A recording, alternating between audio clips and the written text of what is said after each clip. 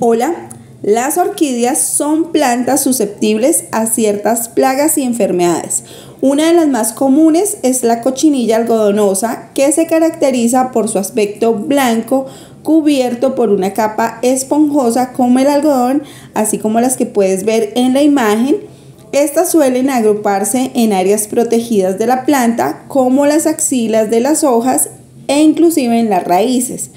Estos insectos se alimentan de la savia de la planta, debilitándola y provocando la aparición de hojas amarillas.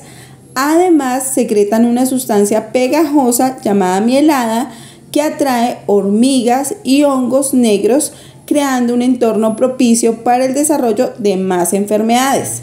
Si tu planta ya presenta problemas de cochinilla algodonosa y quieres eliminarla o prevenirla, te invito a que veas el video completo que encuentras acá anclado en la descripción.